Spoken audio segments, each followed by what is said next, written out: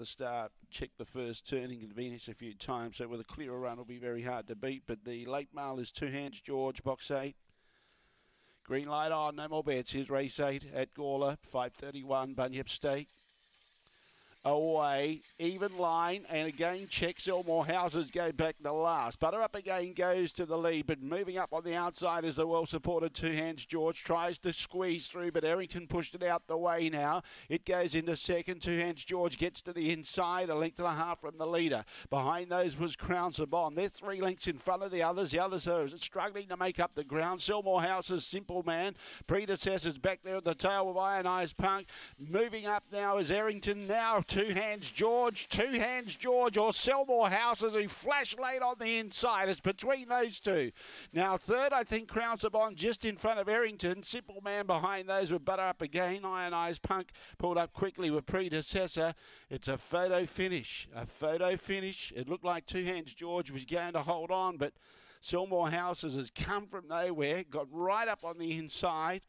And this is very, very close to a dead heat. The judges still yet to decide. And the time is around 31.40. Standing by for the number. A real close go here between the six and the eight, the two favourites in the race. And still no result. Could be a dead heat. Still no result here.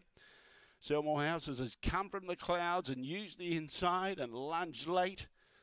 It's a matter of who's got the bob in, and it looks like Selmore Houses has got the bob in. Number six goes in the frame. Six beats eight, six and eight, 31 38 the time, and a great finish. Third goes to three. Fourth goes to number two. Six, eight, three, two. A nose is the margin. A nose by one length. Six, eight, three, two. The judges' numbers six, eight, three, and two.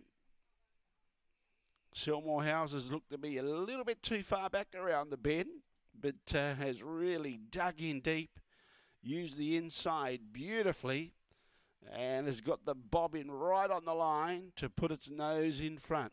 So he's done very well. A Black Dog March 2018, Kibo out of Dana Peach, raced and trained by Kia Hurley, and has got there by the barest possible margin, a nose.